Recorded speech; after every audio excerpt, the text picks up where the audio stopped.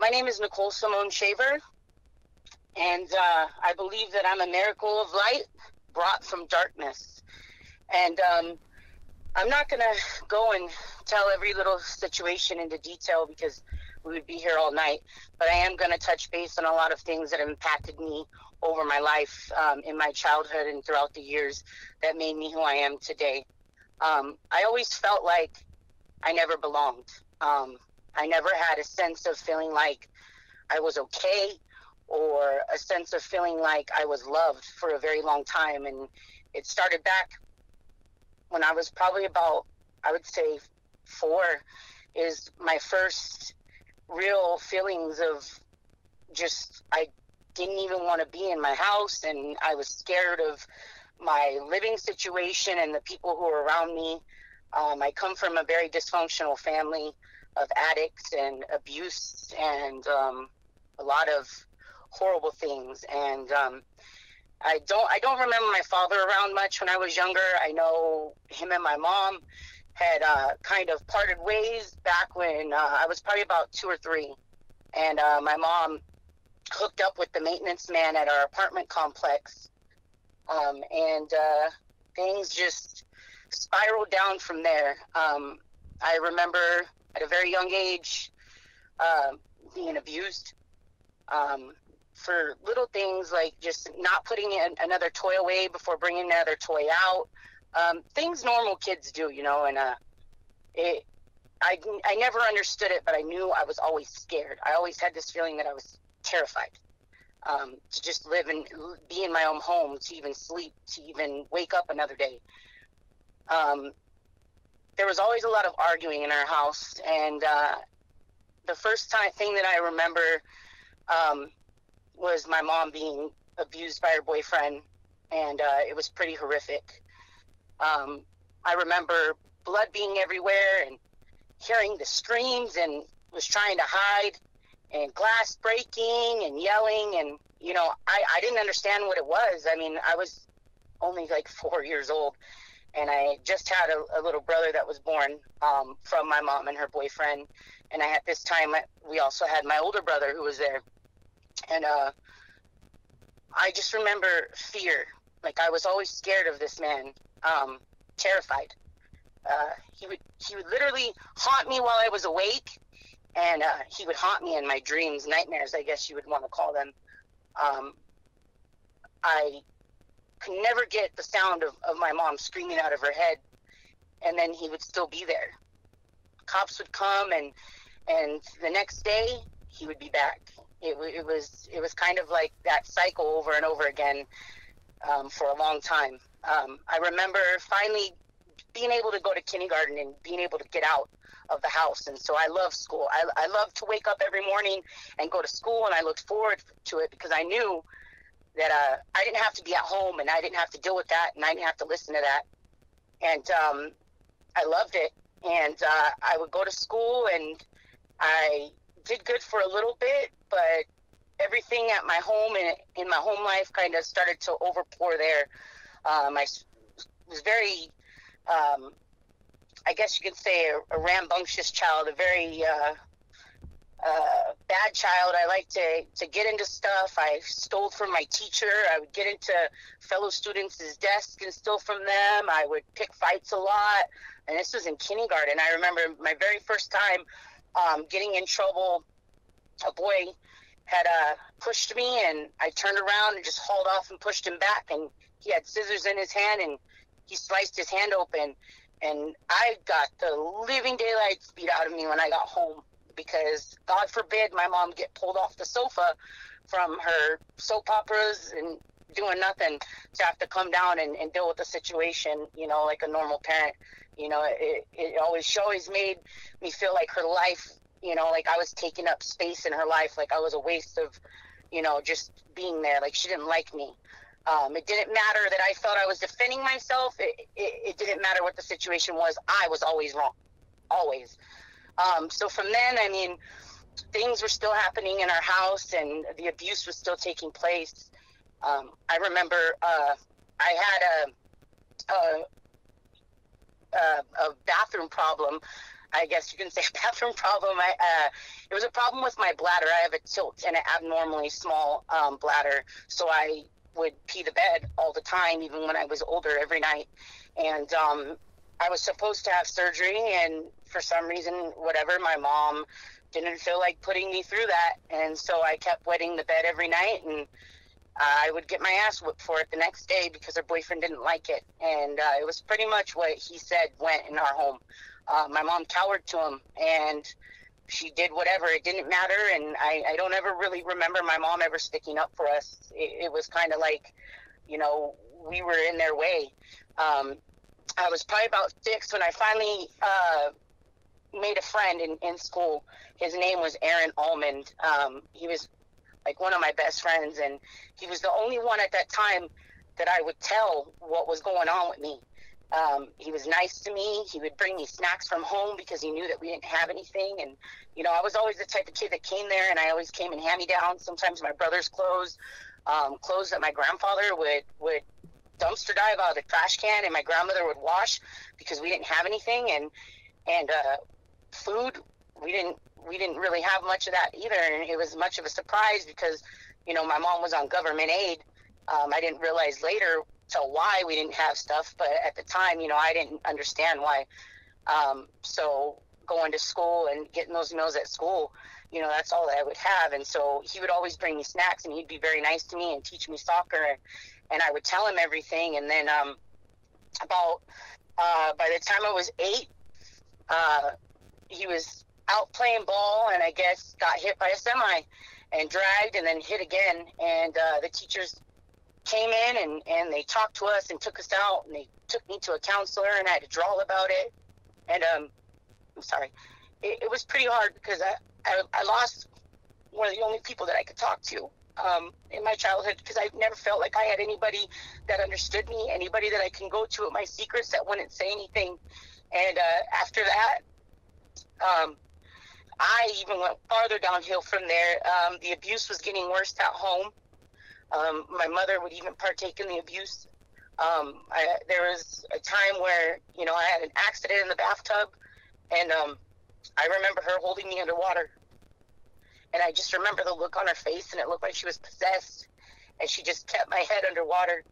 And my brother came in and he yelled, and she she let me up, and you know things just kept getting worse. They were chaotic, and it was just it was a very horrible thing like it's it was so chaotic. Sometimes I I couldn't even get my work done at school because I was just so like exhausted from home and then being able to come home from school and try to be able to do my homework it just it, it wasn't a, it wasn't something that was able to get done and my grades were slipping um, this time uh, my my little brother was already a little bit older and uh, you know um, the abuse was obviously still happening. And one day we were playing, and and he pinched me, and I pinched him back, and uh, his dad got mad because he screamed, and um, he choked me, and I don't remember too much of what happened next. I just remember my older brother waking me up, holding me in the bathroom, splashing water on my face. I remember that it felt like I was going on a roller coaster. And then I open my eyes and, you know, my brother's holding me up in the bathroom. And we walk out of the bathroom and my mom's on the back of him with a baseball bat around his neck fighting him. And he's trying to fight to get her off and beat her up. And she finally got the cops involved um, when it came to us. And they came there and it, it was a scary process because they sat there and they took pictures of my neck and took my statement and took my brother's statement, and, and I didn't know what was going on. I just knew I was scared, and I didn't want him to come back. And you know, it it was just um, something that I will never get out of my mind because I really truly felt like I almost died that day. Um, the abuse kept on, and my mom, of course, took him back, and um, it was pretty crazy because I never understood the relationship that him and my mom had. I mean, you know, I had my little brother, and then he was cheating on her with another woman, and there was that other baby that he had, and then she had my sister with him, and after the baby that she had and and this person that he was cheating on her with like we would end up going over to the birthday parties together and and my mom would bring us over there and it was like if they were kind of both in this relationship with him and it was very weird and I never understood it but I knew that like the things because my mom would tell me things and and I knew that this was the woman that he was cheating on her with and my mom would beat on her and and it, I mean my mom he would beat on my mom and he would beat on her and and I just it, never made sense to me as a kid. And I was exposed to a lot of things and like uh, things were never monitored growing up. And um it, it got to that point where I, I don't know what finally made my mom leave the situation but she finally did. Um and it was a big it, it was a big weight lifted off my shoulders but the fact that I mean I had to go back to court and and see counselors and relive it and everything and explain the abuse, you know, it, it did a lot to me because I didn't want to keep reliving it. I, I just wanted to block it out. I mean, uh, I'm telling you guys bits and pieces, but when I mean like it was horrific, and there was times I was locked in my room, and there was times that I wasn't given food. It it was it was pretty horrific um, experience as a child, and it impacted me a lot in my life, and I felt that it was a lot of the reasons why I made a lot of the decisions that I did. Um, my mom ended up getting with uh, one of the guys that used to run around the street where we lived, and um, uh, we were with him for a while. And my mom was still abusive to us, and um, she wasn't the love mom, loving mom. I don't ever remember her like hugging me and and telling me she was proud of me. I don't remember her telling me she loved me or a good job or you know things that you're supposed to tell your child and give them encouragement and that didn't happen in our household um, she was with him, and then uh, I ended up having another little sister. And uh, I would like to say around the time I was 11, um, my mom had found out that she had possible, um, like some tumors and some growths in her uterus, and and you know she had a cancer scare. And um, I came home one day, and uh, we were sitting there and he was like i don't i don't know what made her boyfriend say what he said to me but he said it. And he was like you know um, if something happens to your mom you know your brothers and sisters they all have family to go to. They all have someone who's willing to take them something happens to your mom no one's going to take you you don't have a dad you don't have no family willing to take you and uh, believe it or not at 11 i knew he wasn't lying I knew that I had I had nobody like my brothers and sisters. I was the oddball out, um, the scapegoat of the family, the one who always got the blunt of everything, the one who always caught the blame of everything. And so I knew like he wasn't lying. I didn't know my dad. I didn't know nothing, and I legit had it set in my mind that night when I went to bed. Um, I packed a bag and I left my school books out and I packed some clothes and I went to school that day knowing that I wasn't coming home. And at 11 years old, I left and I snuck off with my friend and I didn't come home. And uh, they eventually called the police. And first, you know, because my teacher had had kind of known stuff about me. I had had her for two years. Um, her name was Mrs. Oldham, and uh, she kind of knew a little bit about the things that was going on. I wouldn't say really knew, but I would come to school with like black eyes and, you know, not disheveled. I, I mean, I didn't always have the best stuff on, and I, I wasn't the most smiley kid. You know, you can see it when a kid's going through stuff, and I, I really believe that she knew because the police, before they ever did a search for me, tore my mother's house up from top to bottom, thinking that she did something to me, that they, that something had happened to me. Um, the search went on, and they went looking through like the woods and the mountains, and even my older brother was, and I never turned up. And then um, they went back to the school, and they uh, called my teacher, and she pulled you know a student list of, of people who I was friends with, and you know um, like the next day it was kind of like the afternoon uh, my friend, her name was Andrea, um, the phone rang and she picked up the phone and she was like, It's for you. And I was like, What? So I got on the phone and it was my teacher and she was like, You know, Nicole, I I I I understand and I, I know you're scared, but you gotta come out. You you you got to come out and you got to talk to the police, and, and you got to let them know that you're okay. You got everybody looking for you, and um, so I was like, all right, and the cops came and they got me and um, they talked to me for a little bit and I told them what was said and what had happened and somewhat a little bit of what was going on. I was always too scared because, you know, um, my mom always put it in my head that I would be taken away and I, I would never see my brothers and sisters again. So I didn't want to say anything that I knew that would break us siblings apart. And so a lot of the stuff I kept quiet um, out of fear for us siblings, not out of fear for her, but out of fear for us siblings. And so um, that day they they took me over to my grandparents' house, and uh, my dad was on the phone, and uh, I haven't talked to him since I was a child, and uh, he he was I guess because the police reached out to him thinking that I might have went to his house, and uh, he told me he he was gonna come and see me and you know, and uh, why I did it, and I told him why I did it, and I told him what I was going through, and I told him that you know I was being hurt, and I, I would want to come and live with him, and he was like, you know, we'll meet up, and um, I never heard from him. I, I mean, I'm not going to say never, but I didn't hear from him again in, in that period of time as being a child. Um, so uh, at this time, I was 11, and I'd already I started getting in a lot of fights, and um, getting expelled from school, getting kicked out of school. Teachers didn't want to put up with me anymore. It, it was really bad. Um, going home and and just school and everything was just it was a complete mess. I was a complete mess. I, I was already spiraling out of control, and there was something inside of me, like part of me, I didn't want to live anymore.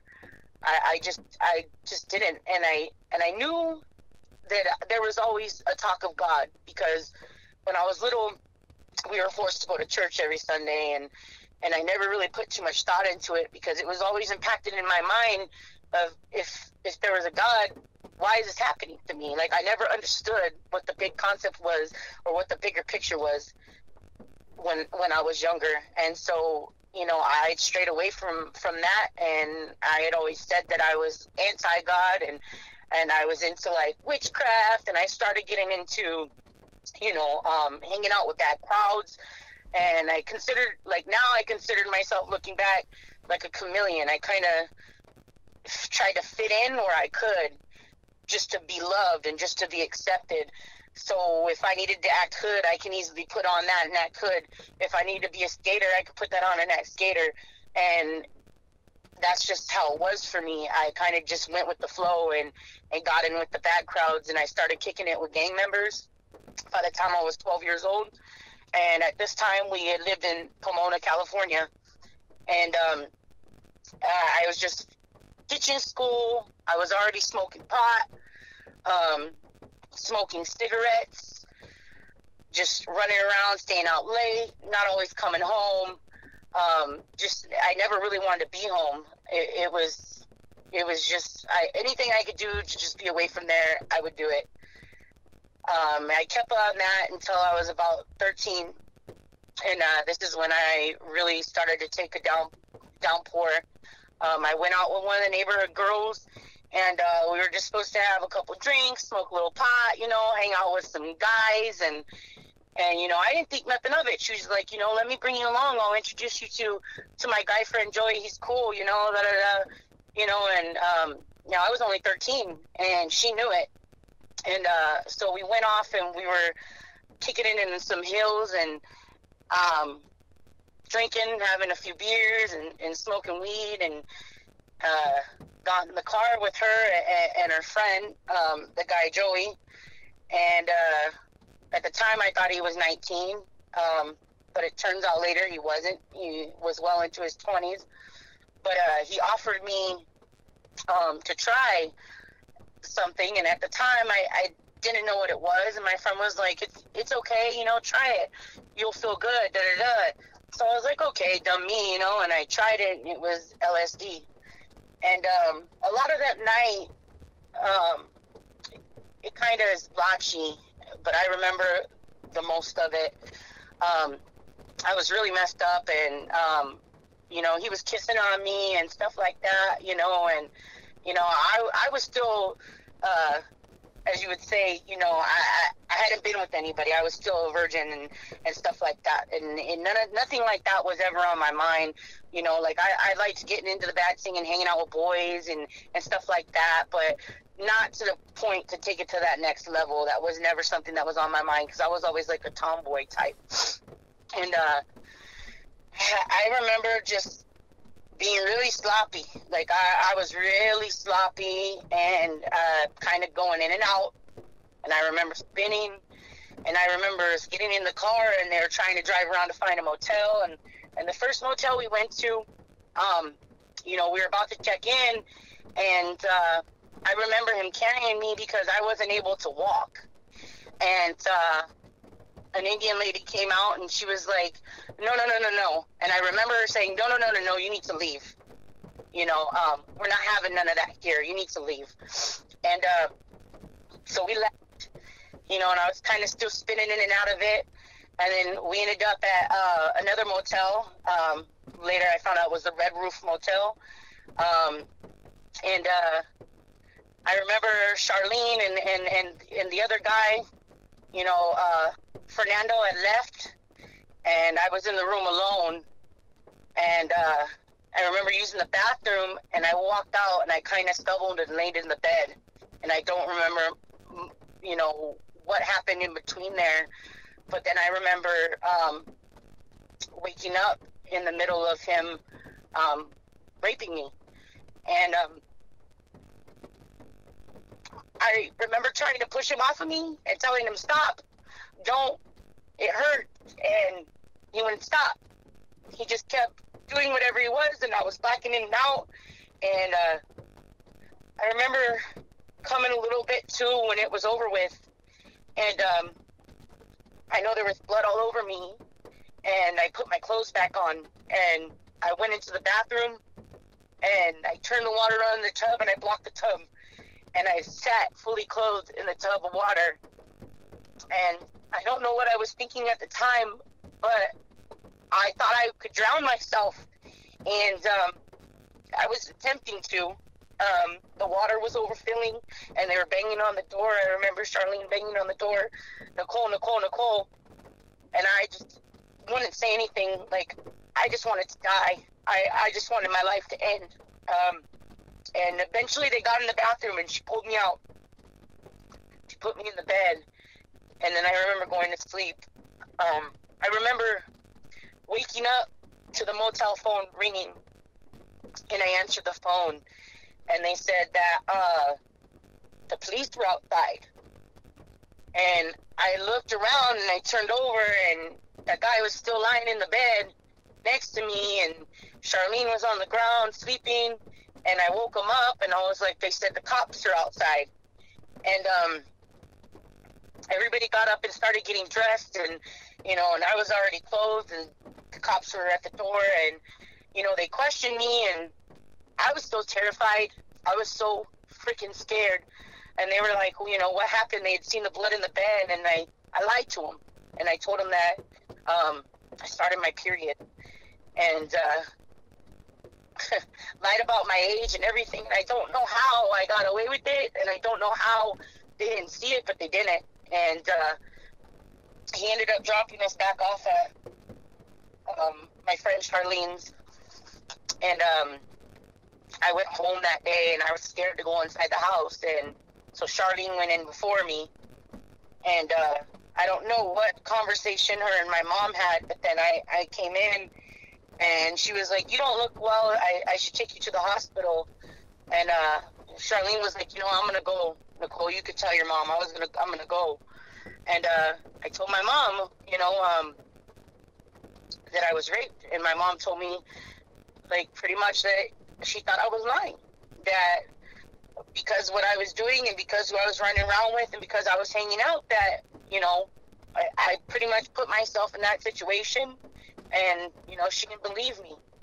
Um, so I grabbed clothes and I and I ran, and I ran away that night, and I stayed gone and I was running around um, the streets of Pomona and uh, found myself hooked up with a with a very shady group of characters. Um, I was running around with a lot of gang members and stuff, and um, I was uh, met a couple characters and uh, that I knew with another girl that was my friend.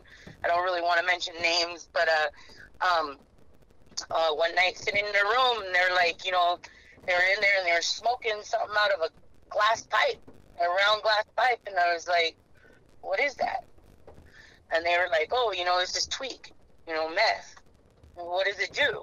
Well, it keeps you awake and keeps your mind clear. And, you know, at that time, I was already had a case of the, you know, the efforts. I didn't care about anything. Uh, what else can go worse than what already happened, you know? And I, and I, and I smoked it. And, uh, you know, at the time, you know, it made me feel like I didn't care and I didn't think about anything that happened to me. I didn't care what anybody thought of me. I didn't care about anything. I was high and my mind was just off of all of that. I, I just didn't have a care in the world. And um, I was running around with these characters for a minute and um, uh, I would say um, I was in and out of juvenile hall a lot. Um, for stupid stuff. Uh, one of them was weed possession. I got caught with some marijuana across from from the high school, and it was a ticket, and I never showed, so it became a thing. And you know, I was in and out, and then um, I was in high school, and um, they would have a lot of riots over there. Um, between a lot of, you know, um, at the time, I guess you could call them race riots. At the time, you know, a lot of the um, the Mexicans and the blacks would always fight a lot, and you know I always hung out with a lot of the Mexicans, and so you know it was a big thing, and um, I got caught in the middle of it, and um, I ended up getting caught by uh, one of the school campus officers, and uh, for you know this girl she slice she like sliced me with a box cutter on my arm, and I had took a screwdriver and you know, I, I didn't do anything severe or anything, but it didn't matter. Like I, I ended up in juvie and, you know, I was there for like a few weeks and then my mom finally came and got me out. And it was kind of like a, like a vicious cycle.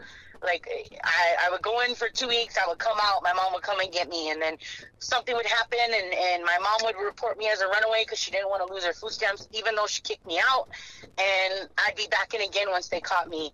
Um, I remember uh, when um, I was 14, um, I was steady on the streets. I didn't really go back, went back home. I was running around with way older men than I should have been running around with. And, you know, um, you know, just not, not being very smart. I was already stealing. I was already stealing cars. I was already robbing stores and it wasn't necessarily really for my habit but it was to survive you know i would steal food i would steal um, alcohol to stay warm at night when i was sleeping on the streets because i didn't have nowhere to go and i had to be up you know um, or i would be stealing um, clothes because i didn't have clothes um, so I, I mean and some of it you know you know went towards my habit but i wasn't i wasn't fully you know that far deep into my addiction. Like I would do it here and there, but it wasn't like an everyday thing. Um, and then I um, had got, you know, I was at my friend's one time and I had uh, came across uh, this guy and um, I, I knew his brother and I was friends with his brother and he rolled up in a car with a girl I didn't like. And um, how we met was because I pulled the girl out of the car and we started fighting because me and her had a lot of beef and and then uh, after she ran off and left, he looked at me and he was like, "You want to roll?" And I was like, "Sure, you know, whatever." And uh, we rolled around, and um, he took care of me. Um, you know, I was 14 and he was 18, but I lied about my age at the time. And um, uh, but he was good to me. You know, it, it, it wasn't about drugs. You know, um, we did do a lot of crime together and stuff like that. And but he always made sure that I had somewhere safe to sleep. He always made sure that I had food to eat. He even took his taxes from his work and bought me clothes and um, an engagement ring. And, you know, this is the first time I had ever felt any type of connection ever since my my friend Aaron and um uh I thought I was in love, you know how that goes, and uh he end, we end up getting uh pop coming down from um uh. He swerved. I guess he was up too too long or whatever. Said he seen a dog, but I don't remember ever there being a dog. And um, there was a cop behind us, and they followed us for a long time. And next thing you knew, there was cops everywhere. Um, well, we were in a stolen car, and we had two other people with us. And uh, we went to jail that night, and um, uh, they were like, you know, you're 14. You know, we're gonna get him on statutory rape, and and I was like, hold on. I was like, I lied. You know, I lied about my age. I, I didn't, he didn't know I was 14. You know, I, I didn't want him to get in trouble. It wasn't his fault. He, he, he didn't really know. And, and even my mom had told him that I was 18. She lied for me because that's the type of person she was. And, uh, so they called and they verified it. And my mom admitted that she did lie about my age for me and um, that she was okay with our relationship.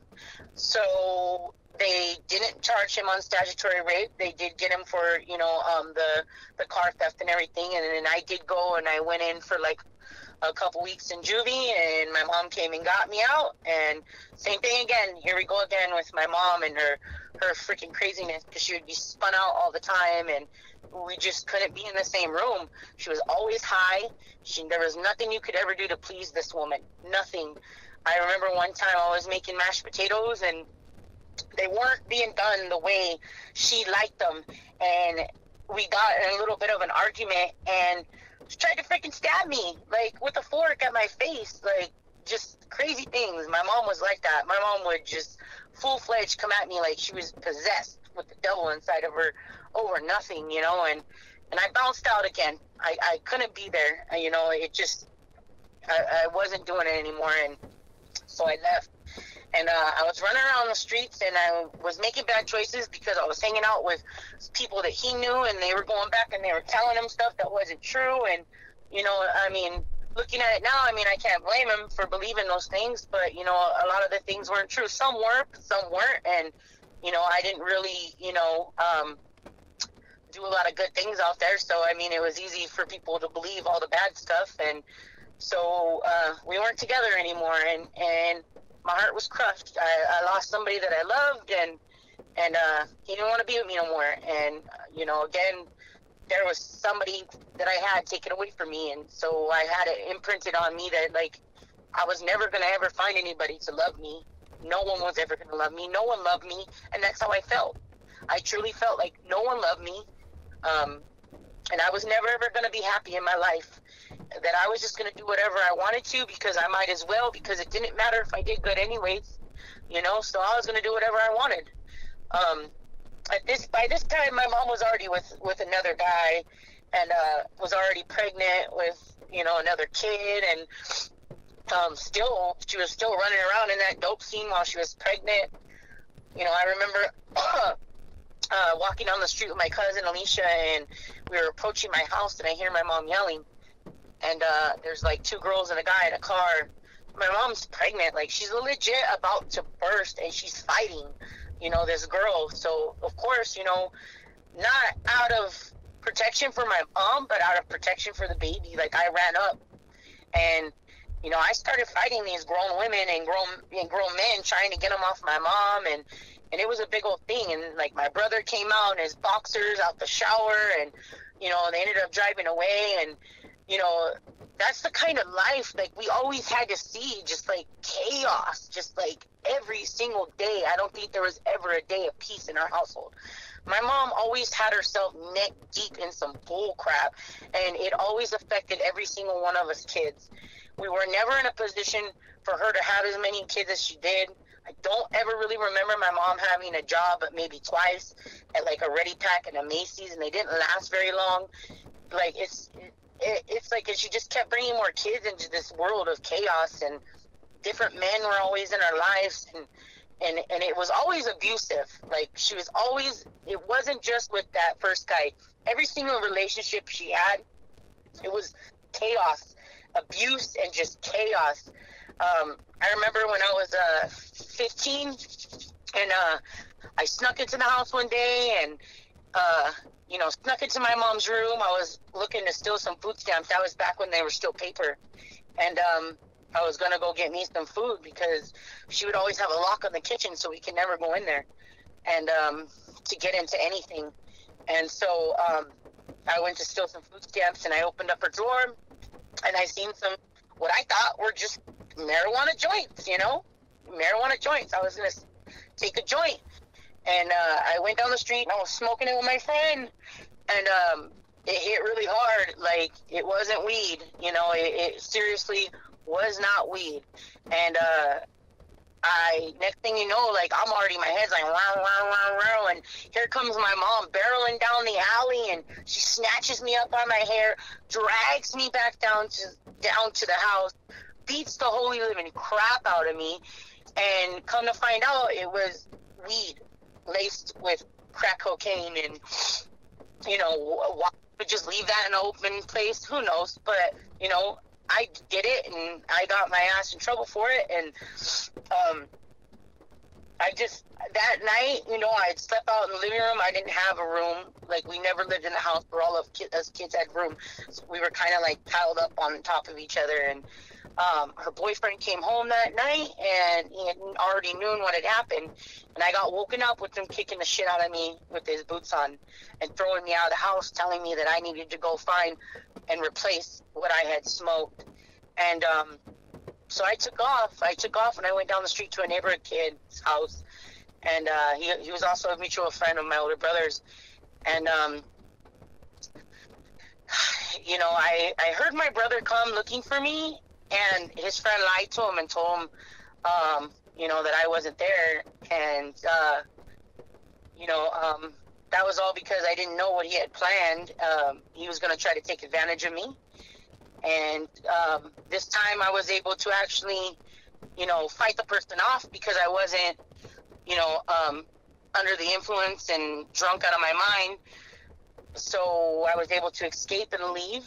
And um, so luckily I didn't have it happen to me another time. Um, but I left and I ran and I was back down on the south side of Pomona kicking it with some shady characters and you know, at this time I was already learning how to run guns and and you know, stealing cars and just anything that I can do that had to do with with that type of life. I was already involved with it. I was 15 selling dope um, to grown people, and I every like the majority of the people that I was around were grown men, and I don't mean like in their 20s. I mean late 20s, 30s, 40s, even 50s, and I was 15, and you know, it, it, was like nothing. Like all all of us neighborhood kids that were pretty much teenagers were around these group of men, and and they would, you know, give us drugs or take drugs from us, do drugs with us, and or she even try to like get at you and and that's how it was like and i never thought anything of it. I i was just like you know this is you know it was normal. It was a normal way of living life for me. I was so used to it and i was so used to it that, that it i didn't even think twice about the fact that these guys were old enough to meet my father and my grandfather you know and so that it continued on for a while and uh, i got myself in pretty deep with some of the wrong people when it came down to the drugs and stuff. And um, I ended up back in jail. And uh, my mom came and picked me up again. And this time when she picked me up, you know, she brought me my brother's clothes because, you know, I, she didn't have anything for me. And I remember she even brought me his lug boots because I remember they were flopping off of me and uh, she decided that they were gonna drive me out from Pomona to Joshua Tree, California, and drop me off at my cousin's house. And she said it was gonna be for a little bit, but she left me there. She literally took me and placed me at my cousin's and abandoned me. And didn't come back for me, didn't give me no money, didn't bring me no clothes, didn't bring me nothing, just left me high and dry. Um, I was living with my cousin for a while. My cousin was on drugs. My cousin was already shooting meth and had a lot of shady characters around her. And um, I fell in with a really bad crowd. Um, and I, and I'll and I'll get into detail about that because this is something that it, that has a lot to do with a lot of the things that affected me. Um, because um, I grew up knowing that my mom's boyfriend, the first one that was very abusive, you know, wasn't my dad. It was a parent. You know, um, I'm a little Italian white girl, and you know, um, he was African American. He was black, and um, so the characters that my cousin was around, you know, there are a lot of white people, and uh, I guess you know I'm just gonna come straight out and say it. Uh, they were skinhead, and um, it was easy with my story and my background to fall into what their belief system was and the, they fed off of it because I was actually somebody who actually had some type of reason not to like black men, and they liked that, you know. It, it, so I was around them and um, running the streets and getting high and um, doing criminal activities for a while, and uh, you know, I was that whole year. I mean, there, there wasn't anything that I that, that had changed. You know, um, I would say it was like I wouldn't say a whole year, um, almost 17, and I was hanging around with with one of the girls that I had met, and I was sneaking in her house. She would sneak me in, and um, one night she was sneaking me in her house, and her mom caught me, and uh, she was like, "Oh, you need to go back out where you came in." And so I went to do that, and she was like, "No, better yet, come through the house. So I came back in and I came through the house and I was leaving and, and you know, my friend, she was like, but mom, she has nowhere to go and da da da. And she started crying and, and she was like, sit down. She was like, what's going on? And so, you know, I told her, you know, like, I, I can't be at my cousin's house. She freaks out on drugs and she trips out on me and she throws me out and um, she acts weird. And, you know, I really, I don't know nobody up here. My mom left me and so um, this wonderful lady by the name of Donna let me stay there. And her one condition was that I not be on drugs. And so I was like, all right, bet, you know, I'm going to do this, you know. Um, she started letting me stay there and uh, like it happened so fast like it was just so fast like she already started like to go and and uh, get a hold of like the authorities and the court system to try to get my mom to sign over custody of me and relinquish her rights so she could get me health care and, and get me into the school. And it happened so quick. Like this lady was on the ball. Like I mean within a month, two months, she already had temporary guardianship from me of me and she had me in Yucca Valley High School. And, you know, I, I, I mean, I wasn't on meth but once in a while I would smoke some pot, you know, and um, but I wasn't doing anything else, and I was still smoking cigarettes, but that was about it. Like once once in a in a while, maybe some marijuana, but I wasn't doing anything hard. I, I was really trying to be straight, you know, and uh, it, it was it was awesome. This this woman just like was a mother that I never had. She was so compassionate. She was so loving. She would do spontaneous trips at like three o'clock in the morning, and we would go to the beach, and she would take us kind all these kind of places, and she would buy me clothes, and she was good to me, and I I effed it up. Um, I started. Uh, I don't know. I just I don't know what happened and, and where it went wrong, but I know that uh, I ditched school, and she caught us and um, she wasn't going to let us go uh, to the the um whole, the the uh, Winterfest dance, and I was I knew I was being nominated uh, for Winterfest Queen, and so I was like, "What are you doing? Why would you take this from me? Like this is like the first, you know." I was so upset for it. I didn't even see why I was at fault for doing what I did, and I packed my bag and I left and I went down the street back to my cousin's house, and I was upset that day, and um, uh, my cousin was there, and she had some guy there, and um, he had dope on him, and there went. You know, all, all those months I had gone. Um, I I don't know why. Uh, I do not absolutely know why.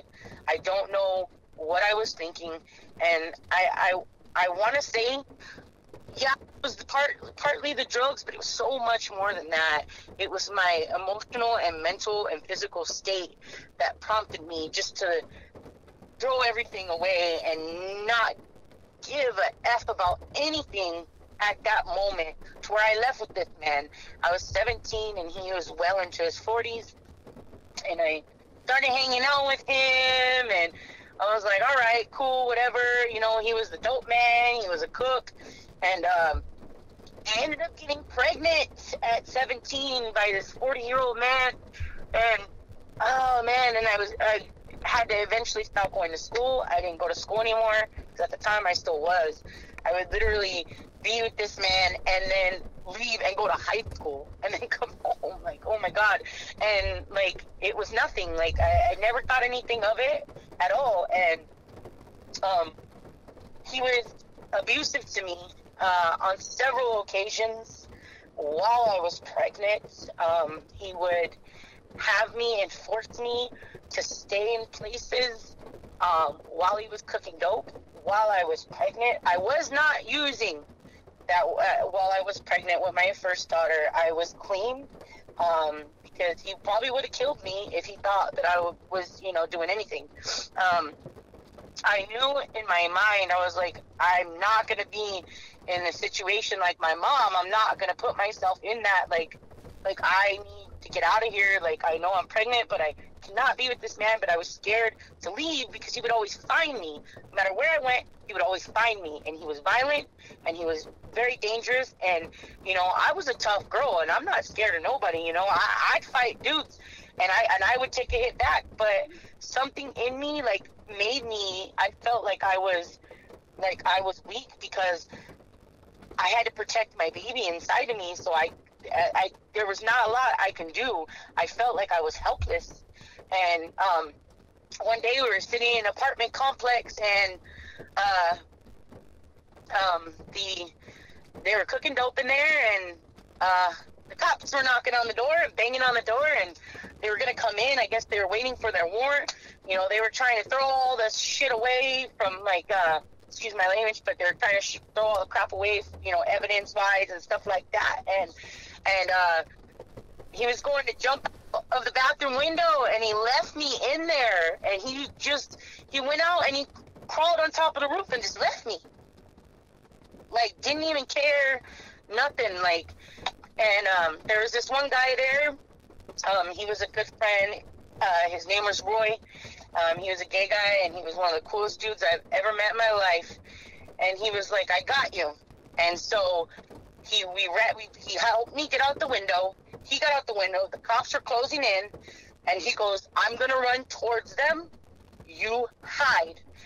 And sure enough, he did. He ran towards them. I ran around the building. I couldn't get that far because it, like, the part where I was running to was all swarmed with cops.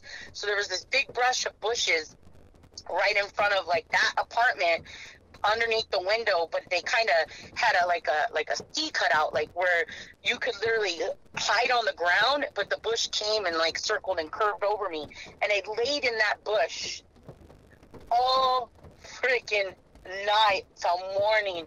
There was mice coming up to me. I peed on myself and i laid there and they never found me and everybody else got busted and arrested. Um, i thought that i got away scot-free and um, two days later i was in the same apartment complex but at a different house chilling with the lady and trying to figure out what was i going to do not even thinking that they found my backpack with my stuff in it um, and the cops showed up there and they were coming there for another guy who was on parole and I had to be there. And um, I remember Officer Mason because he's the nicest cop I ever met. And uh, they arrested me and um, it was him and Officer Dykoff. And I never liked Officer Dykoff. I knew he was a really shady cop. I knew he had his hands in with, with a lot of um, bad things. Uh, he would always try to get the girls on the streets when he catch them, you know, to do things with them. Um, to let him go. And I knew this about him. Like he had this reputation on the streets. So I was terrified. I did not want to be in this cop's car. And I cried to Officer Mason. I was like, please, can you take me? Because they had to trans, they couldn't keep me at the jail up here. They had to transfer me and actually physically take me themselves down to San Bernardino Juvenile Hall from Joshua Tree. So Officer Mason drove me and uh, he was nice and he was polite and he had me handcuffed in front. He let me sit in the front seat. He even took me through McDonald's drive-through, and we talked about like my life to this cop. And I don't know, but I think he felt bad for me, and uh, I ended up being in jail um, for a couple weeks. After a few threats, my mom finally came and got me, and because uh, she didn't want it, she was gonna leave me there. But I was like, I'm pregnant, like you can't leave me here, like. I'm not too far about to be having this baby, like, please. And it was like um, around uh, October. And so a week before my 18th birthday, she came and got me out. Um, I was with her in her home in Corona. Um, at this time, you know, she was still on drugs, but um, she she wasn't trying to get crazy with me anymore like that. I don't know. You know, she wasn't trying to like really be too stupid at first. Um, I had I was in her house, and uh, while I was there during that week, Officer Mason has actually came down and visited me to see that I was there, and he had talked to my mom, and uh, he just told me he was like, you know, you're a very young girl, and and you know, this life is not for you. This is not what you should be doing and you know i you know at that time i was you know i, I was thinking i was gonna have my kid and and I, I, was thought at the time that that i was gonna hopefully be able to be better and do better. And um a week later uh on my 18th birthday i went in for a hearing and they dismissed everything said i didn't have to be on probation anymore and they dropped everything against me. And then um I was still living at my mom's, and her and her old man were, you know, you know, still, you know, doing dope and running around and all that crazy stuff. She'd leave me there with all the kids and everything all the time, and you know, crazy stuff, and be gone for weeks on end, and I'd be stuck there with the kids. And then um, November second, uh, I had my daughter. Um, it was a very, very hard labor. Um, I knew something was wrong with me the days prior, and nobody wanted me to call the ambulance or take me into jail. They kept saying that it was just Braxton Hicks, and um, I went in and I delivered. It was over 24 hour delivery, and um, she came out. The cord was wrapped around her neck. She was healthy, and um, she was good. And uh, three days, two to three days later, I went home to my mom's house with my baby, and um, for a while there, I mean, it was different. It, it, was a little stressful. I didn't really know how to be a mom. I didn't really know how to take care of a baby. I didn't, you know, I no one ever taught me anything. I, you know, I didn't know anything about life, and it was really hard. And then I had a lot of things, you know, a lot of animosity against my mom.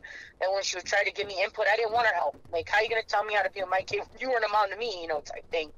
And um, there's still a lot of chaos in the house and stuff. And then, you know, one day I was gone with my kid, and I was down the street at a girl I met, an older an older lady, and, and and she would go to meetings, and she took me to a meeting one time, and I went with her. It was my first NA meeting in Corona, and I and I was hanging out with her, and I and I went home, and uh, my mom came out and like tried to attack me with my kid in my hands and I was like, whoa, what the frick is wrong with you? And apparently, um, her boyfriend came home and and uh, was drunk and belligerent and on drugs or whatever, and they were fighting. And he made he made an insinuation that he had done something with me, which you know, like sexually, which wasn't true. And I told her, you know, like what the fuck? Like how can you like why would you believe that? Like why would you believe that I would even do something like that? Like what's wrong with you? She told me to get out. Like she literally threw me and my child to the street and I had nowhere to go and I had nothing and for this man that she believed. And uh, I couldn't believe it. I was like, typical you, right? Like always your men, never your children.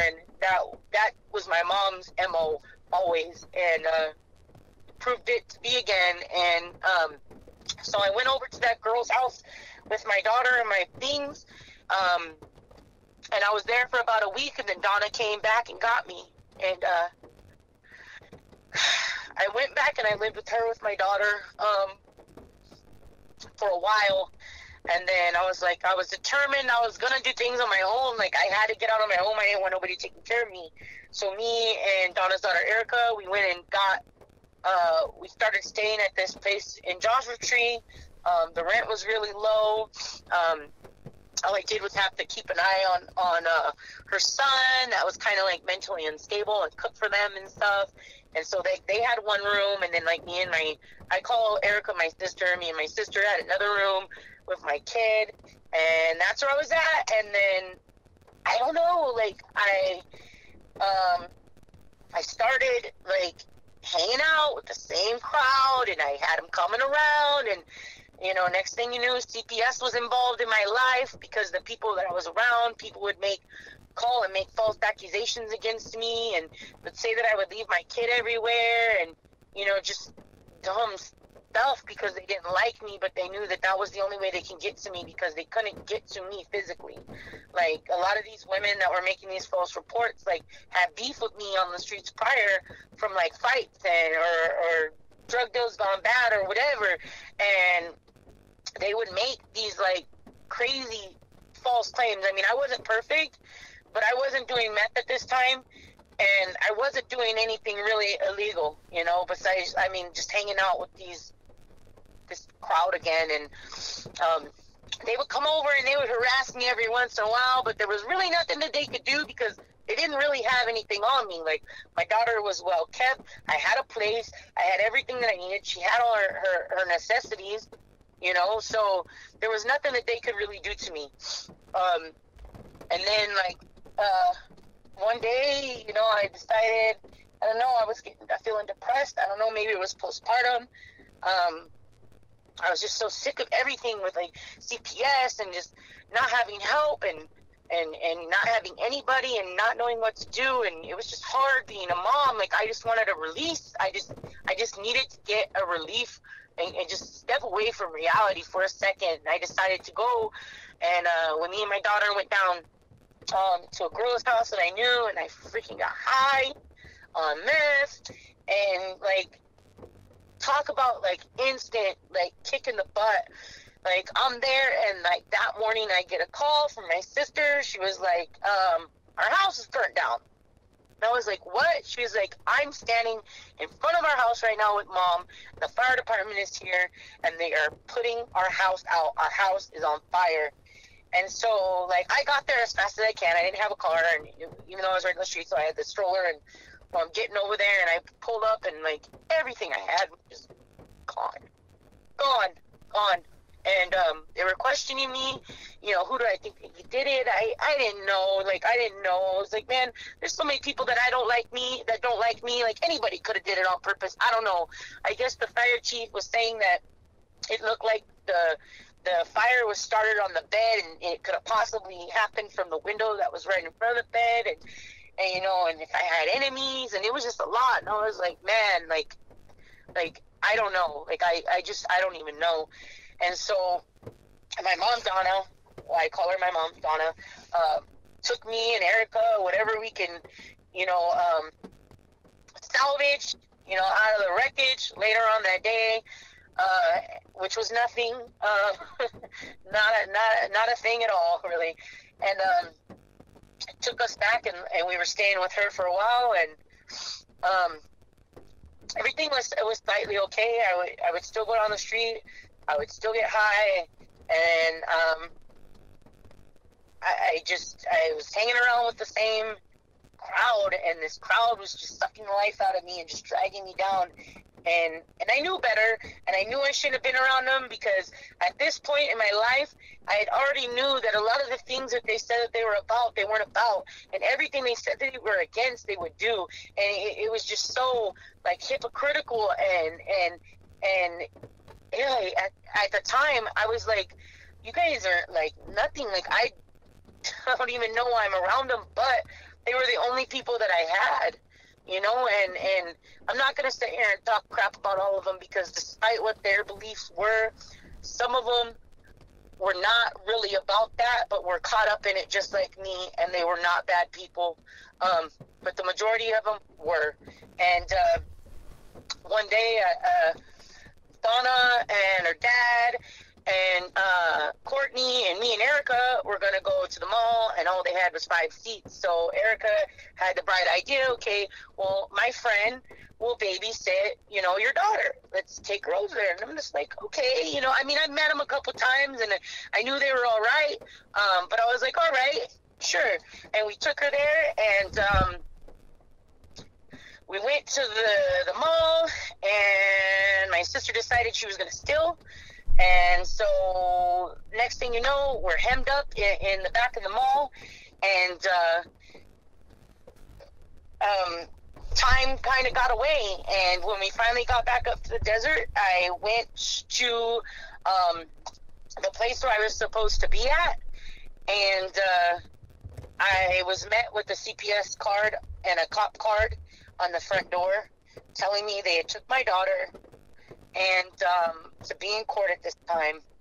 And uh, my mom knew a couple cop people, so she had talked to them, and and I guess the lady said that I had abandoned my kid, which I didn't, and I was coming back, but it didn't matter. Um, Dykoff happened to be the one that took my child, and uh, took her to the police station with until CPS came and picked him up, and um, I have a firm belief that a lot of it was because he wanted me to turn in that 40 year old for, uh, you know, being with a minor, and I refused to say anything or talk to the cops about him because I didn't want to have no one come after me. And so I truly feel that, that it had a lot to do with that. Like he had it out for me. And um,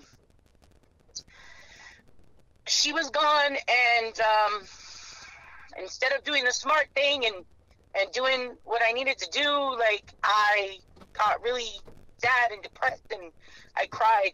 And uh, I was at my mom's that night, and uh, I remember um, waking up to the sound of a baby crying, and uh, I went to the kitchen and I made a bottle, and I went over to her bed. She wasn't there, and uh I like I woke up all the way at this point and I just fell to the ground and I was crying and I wanted to die. I wanted to die. I, I was on a mission and I didn't like these people that did what they did to me and I just had so much anger and aggression and um so I went out and I plotted to uh, do something against these people and uh um the guy kind of got set up down the street and uh, barricaded in the house by a couple of dudes I knew, and they were going to hurt him. And uh, he blamed it all on his girlfriend and said that it was her. It was her idea because we needed they needed to get to a party, and I wasn't back in time, so that's why they did it. And so they were like, "Okay, call your girl down. Call your girl down." And uh, so he called her down, and she's standing outside, and and uh, he had took the kids away and she didn't see me coming, and I just came around the corner and started beating the crap out of her, and um, I was getting her really good, and uh, she was down on the ground in a fetal position, and all I remember is her kid getting past the guy, and he's he's like, "Stop, stop, my mom's pregnant," and uh I froze, and I was like, "What the heck?" Like I was like, "What the heck?" And the next thing I know, I see my homeboy just hitting that dude so hard that his head bounced off the side of the wall, concrete, boom, because he knew that he just effed me even more. And uh, I heard sirens in the distance, and we booked it. Um, I went on the run. I didn't get my daughter back. I didn't go to court. I was scared I was going to go to jail. Um, because I knew I hurt her and I knew she lost that baby. and I thought she was going to tell on me. I thought she was going to make a police report, and so I left. Um, I went down to DHS and I didn't uh, with someone and I didn't know anybody around there and like we camped out living homeless in the back of a in a tent in the back of Kmart um, just trying to stay away from the desert as much as possible and then I couldn't ha- hang with that life I couldn't hang with the tent life it wasn't for me um, I could couch surf but the tent life I just couldn't do it and so I hitchhiked from DHS all the way back up to Joshua Tree you know, I was like, you know what? I don't even care. You know, they catch me, they catch me. Um, I ended up getting um, this dude, and the funny thing is, is you know, he was Hispanic, and uh, um, you know, at the time, you know, I liked him and, and stuff like that. I knew his mom from the street. She would run run run around a little bit with like the people that I ran around with, and uh, she was in jail and so like me and him hooked up, and I was staying at her house with him, and I promised her, you know, I would help him with her kids, and you know, me and him had some thing going, and you know, um, then you know, I I ended up still hanging out with those people that I shouldn't have been hanging out with, and he didn't like it because I wouldn't take him around with me because I knew that it, I knew that I couldn't take him around those people with me because he was Hispanic, and I knew that would cause me issues. So, and he didn't like that I wouldn't take him with me anywhere, and it caused a lot of problems, and I ended up leaving, and um, I was so bad on drugs, it, it was like, oh, it was horrible. Like I, there was not a day that went by that I wasn't high. Um, I hated myself. I cried every day. Um, I knew I missed my daughter, and uh, but uh, there was there was nothing that I could do about it. Like she was gone, and uh, I knew I wasn't gonna get her back because of the decisions that I had made, and uh, so then uh, um, uh, like I said, like I I was just in this spiral down spiral. Like everything that I was doing, I was running around doing things for these people. Um, I don't really want to get into too much detail about it because a lot of it was some pretty bad stuff. Like uh, I was always the person that they would call, you know, to handle any of the females that got out of line around the area or any of the females that they had in trouble with. Like I was kind of like a female regulator for for them, and you know, I would put in a lot of work for them. And when I mean work, like I mean doing stuff, robbing, stealing, didn't matter. Um, I, I was doing that. And, uh, I, I, there was days where I wouldn't eat. I, there would be weeks where I wouldn't sleep. I remember times where I was hungry that I would even try to dig in the trash can because I, I hadn't eaten and I had no money and I had nothing. And I hadn't showered or, or anything. And man, it just thinking back about it, it just makes my stomach turn because I just don't even know how I got to the point where I got with that. And, um, but I hated myself and I knew I wanted to die because a part of me felt like I was becoming my mother and that was the last person that I wanted to be like yet. That's exactly who I was becoming. And I mean, I lost my child. I mean, she didn't even get us taken away, even though we should have been. But I, I mean, I lost my kid, and there was no replacing that. I didn't want to live, and um, so you know, time had went on, and um, I would say about I was probably about I guess six months pregnant at the time when I had found out that I was pregnant, but I was so freaking high and just so far gone that it didn't matter. And part of me thought like it was unfair for me to bring another child into this world or have and care for another kid when I left my other kid and I I felt bad, but I couldn't stop. Like I I didn't want to do it and I didn't want to have a kid, but I knew I shouldn't have been getting high, but I couldn't stop. Like I couldn't stop and it and it just kept eating at me and eating at me and eating at me and I got you know, I was already at this time caught up with another dude and you know, he would give me drugs and even though he knew I was pregnant and you know, it was just it was sick, man. It was a sick, sick time that I that I was, you know, dealing with and you know, I wasn't there in my brain, and you know, I, I, I just, I didn't care for nothing or no one, and it didn't matter. Nothing that anyone would say to me, nothing that anybody could do for me, like it didn't matter. Um, I just, I was I was too far gone. I felt like I was too far gone, and I, and I couldn't stop because even if I wanted to, I, I didn't know what I was gonna do. I didn't know where I was gonna go. I didn't have nobody. I didn't have no one I could call and turn to. I didn't have no money. I didn't have no food. I had nothing, and um, I ended up delivering um, September 10th, 2004. My daughter, and I was already wanted by the police. Um, not for what I thought I was going to be wanted for. I thought I was going to be wanted for um, hurting that girl and her baby, and what I was wanted for was um, child abandonment um, because I never went to court. They stuck the child abandonment to me, and um, you know there was it was what it was. There was nothing I could do about it. They took me to jail. Um, they knew that I was under the influence, and uh, um, two days later, they came in and they took my daughter into another room and they wheeled me in a wheelchair into another room.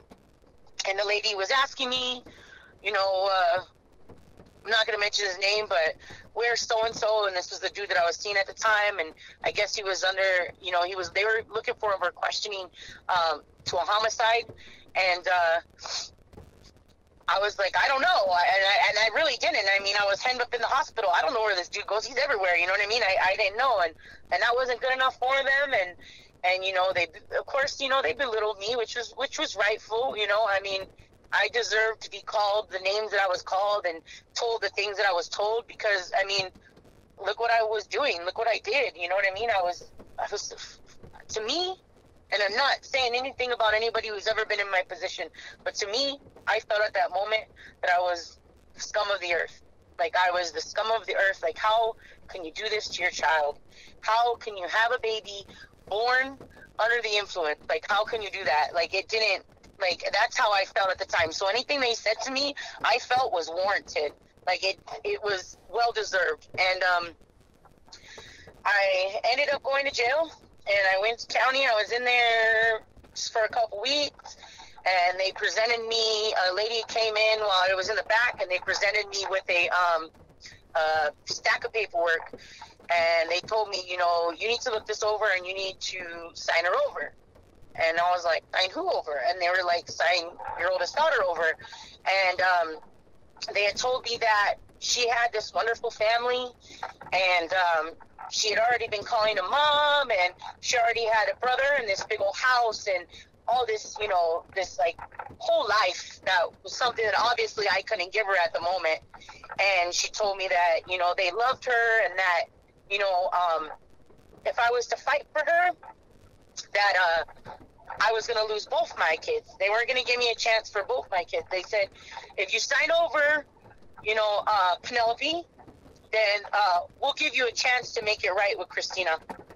And so I was like, you know, at the time it was hard and I thought about it and I was like, I knew that I didn't have a life to take her back right now. And so where she was at, the way they made it sound, it was probably the best for her.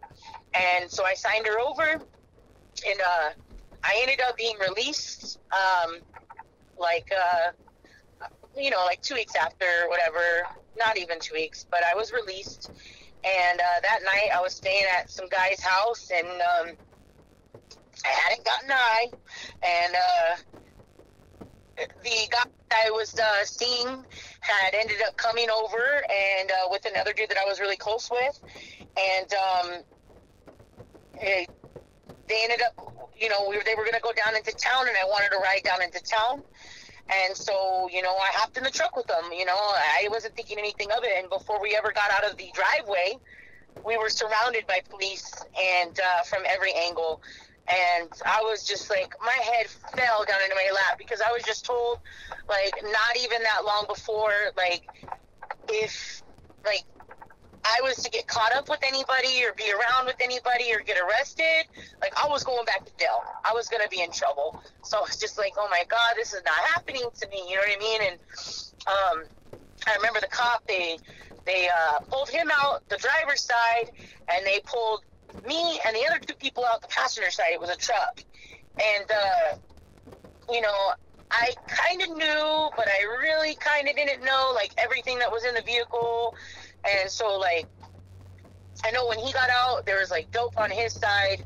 And uh, I guess there was like shotguns underneath our feet, underneath the floorboard, and there were shotguns behind the seats, you know. And I was just like, oh my God, like, this is really happening right now. Like, this would be like my luck right now. Like, you know, like I'm I'm damned damned if I do, damned if I don't type thing, you know.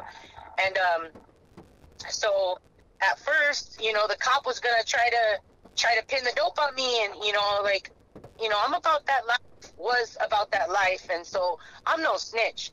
But I'm definitely not gonna sit there and take the rap for something that wasn't mine, especially when I had a lot more to lose. And I'm just like, you know, it ain't mine. I don't know who it is, but it ain't mine. Nothing in there is mine. I was just getting a rap you know, and um, they were really going to try to pin it on me. They were trying to say that I was under the influence. I wasn't. I was really upset. And when I'm upset, I get shaky, I get sweaty, I cry, I start rambling because I get frustrated. And I was really upset and frustrated that this guy that was a dude that I was seeing wasn't speaking up for me. And he wasn't like, you know, taking the blame for anything. And I was going to get in trouble for it. So, like, I was, I was like, furious, furious. And, and so they were trying to say that I was under influence. And I was like, test me, test me. You know, so they go and they put me back in the holding tank, in the holding tank. And then next thing I know, um, they're coming in talking about you're getting OR'd. And I was like, um, okay, you know, I didn't I didn't know what to think about it, but they're like, yeah, we're we're gonna ticket you and we're gonna let you out, and that's what they did. Um, they let me go, and uh, I went on my way and uh, I walked all the way from the jail back to a girl's house I knew at the apartment complex. And uh, I would want to say I was there for about a few hours. And then I got high. You know, I went and got high because I was, I don't know why. You know, I just, it, that's, you know, that's addiction for you, man. Like, it doesn't matter. You could have your whole life being threatened to be taken from you and you was still going, you know, get that get that fixed. And you know that's what it was for me. So i, I got i got loaded and then um, I get a phone call. And uh, the girl who was there at the apartment complex she was like hey because um, her man was in the rehab. And um, i guess that there was some beds that they needed to fill before county came. And um, i guess because they could lose funding or whatever however that works and I was like, all right. Um, they were like, do you want to, you want to come down? You want to come down? You want to come to the rehab? We got a bed here. And I was like, be serious? And they were like, yeah, we, we need to fill this bed. And I was like, yeah, sure, bet. Be here by 8.30. All right. And I did. I got loaded because I knew I was getting there. And then I went around to several of the houses that um, I would hang at because I would bounce around and collected a few of my things from each of them. And then uh, one of my good friends, um, he took me, him and his girl took me to rehab and and uh, dropped me off there at Panorama Ranch in Joshua Tree. And uh, you know, I cried. I sat there the whole through the whole interview and I was just crying um, because I couldn't like I had this weird feeling come over me and I didn't know what it was, but it it was a little bit like a sense of relief. You know, like I knew know what I was gonna do and I didn't know where I was going, but I knew um, that something good was about to happen, and I didn't know how to intercept it. And um, I stayed there, and uh, the next day I tried to sleep in, and and uh, the guy who was there, his name was Marshall. He came in. He was like, "Not, not. We don't do this here. You know, there was no sleeping in. There was no recuperating. There was none of that." And so I was a little salty, and and uh, you know, he was like a oh way like oh over six foot tall military um big black dude and so you know um i already had my guard up you know, from from my trauma or whatever. And he went to shake my hand when we were in the morning meetings, about to do the devotions, and I was like, "No, I'm good." And he looked at me dead in my eye, and he was like, "We're gonna change that," and uh, he did. um, they came and they were like, you know, we're not going to give her a kid. Uh, we don't think that we're going to give her the opportunity. And he sent me out the office one day and he stayed in there at CPS. And uh, it took like two hours. And I remember it was like the longest two hours of my life. And uh, they called me back in and they said, if you stay here and you finish this program and you do every single thing that you're supposed to do, you jump through every single hoop that we want you to jump through with probation, us, and everything else, and you go do these meetings and you do everything, we will consider you having your daughter back. So I was like, all right, bet. And uh, I would do everything. I finished the 90 day program and I completed it. Um, I actually completed it December 24th of uh, um, 2004. And uh, I went in and I went right down the street and I was living in the sober living. And uh, I was doing meetings all the time and you know, everything was good. And um, I, I met this guy there though, and uh, um, we did fool around while he was in the rehab while I was up there visiting. Um, I don't know how we got away with that, but we did, and I ended up pregnant, and uh, I was still living in sober living. I was working. I was doing everything CPS was telling me, um, and it, you know, everything. And you know, the guy knew I was pregnant, but then I had heard that, you know, he was messing around with some other girls that were up there. So I was like, you know, I liked him and I told him, like, you know, that I was going to have an abortion. And I just went along my merry way. You know, I didn't even think nothing about it. Um, I was working. Um, I was doing my meetings. I was doing my counseling. I was doing my, my testing my check-ins for, for probation. I was doing every single thing they asked me to do. I stayed away from all those people that I was hanging around. I never went back to them. Um, I never, you know, was associating with them anymore. I left it. It was dead to me. You know, that life was dead to me. I, I, I was, I said, I, like, I'm not going back to that. That's not the way I want to live. That's not the belief system I want to have. I, I shouldn't be having these beliefs and placing them on a group when it was one person. Just because one person does something, that doesn't mean everyone's like that. And I was letting what this one man did to me, and I, I was taking it out and using it as an excuse to be a horrible person. And I wasn't going to do that no more. Um, uh, I still wasn't into really into God yet. I maybe went to church once or twice with a lady that I considered my sponsor. Um, I really wasn't, you know, really into it, you know, or anything like that. Um, I was doing the meetings um, and all that, but not as frequent as I should have been um, because I was working and I had everything else going on, and it was just me. And I would ride a bus, and you know, I was doing everything on my own. Um, about a year after being in sober living, uh, no, not a year. About it was about I was eight months pregnant. Yeah, no, it was about uh, maybe nine months into being in the sober living, um, and I was about to be having the baby. Um, I had saved enough money from working and doing everything that I was to get a little studio apartment, and CPS had helped me furnish it, and um, I was doing everything I needed to do. They were like, you know, you're stellar. You could be a poster child for people who get it right. You know, all that, you know, good stuff. And I was like, yeah, you know, I'm doing it. I, I'm, I'm turning around. I was looking good. I was doing everything. I felt good about myself. Um, I was having my visits with my daughter, and, and we were bonding. And I knew that I, I didn't want her to hate me, and you know, I, I wanted to have you know her back. And I'd already was never ever going to see one child again, and I, I didn't want that to ever happen. Um, they allowed me to keep my son out of out of the system, which was good.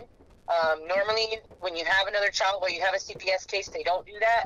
Normally, they take custody of them too, but they weren't going to do that because I was doing so good. Um, ap- uh, after about 18 months, uh, well, I'm getting a little too bit far ahead of myself. I had my son uh, September 13th, 2005. That was exactly a year and three days after my daughter Christiana, and um, I had him, and he was living there with me in, um, you know, the the one bedroom. I mean, the studio, and uh, his dad caught wind that I actually did have a child, and popped up one day, and um, I don't know what the heck I was thinking. I, I must have been lonely, whatever it was. I allowed him to come around, and he was there. Um, we started building our relationship. It was going good at, at first, you know. It, you know, I mean, but it was for all the wrong reasons. You know what I mean? I, I wanted to have his father there and be with the person that I had a kid with and try to make it work. Because this guy truly, I mean, yeah, he had a drug problem, but he's never been to prison and he didn't have like no tattoos and he, you know, he was, really wasn't all that bad for for the, the way we live life. He would have been considered a square even though he did drugs, you know, because that's how he he street he wasn't, you know. And so I was like, you know, what, I'll you know I'll give it a give it a shot. He was supposedly clean, so you know we were gonna try to make it work. Um, after 18 months of having the CPS case, uh, my daughter was given back to me fully.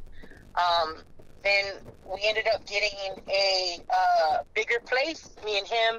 Um, that was a two bedroom in the same complex, and um, uh, I we ended up already planning on getting married.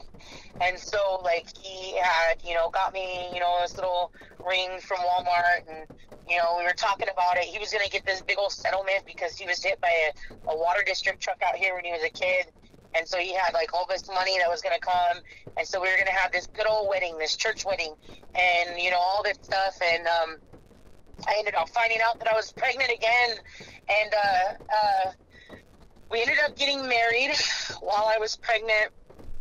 Uh, my son was a couple months old. Uh, we got married in uh, 2006, and uh, you know it was all right. You know, uh, he was a little off at times, and after we got married, he started thinking he was going to become really controlling. Um, around this time, I found out that I had uh, mild dysplasia, which was the beginning um, cell stages of cancer down in uh, my cervix. And so I was having a very hard pregnancy.